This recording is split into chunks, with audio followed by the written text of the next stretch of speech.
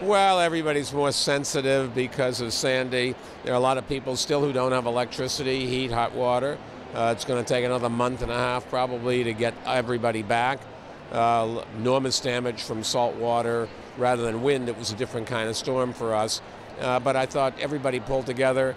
Uh, the firefighters were the heroes at the beginning, saving lives, then the cops, and then the cops keeping us safe, then sanitation cleaning everything up, and then volunteers, and then the construction trades. So, you know, it tells you what New York's all about. Uh, these are working days for the mayor. I'll be here, midnight mass and Christmas. Uh, all Jewish boys go to midnight mass, particularly when they're the mayor. Uh, dropping the ball in Times Square. Very exciting, a lot of fun. Uh, last year I got kissed by Lady Gaga. I have no idea what's going to happen this time. I think we've got a male dropping, so no kissing.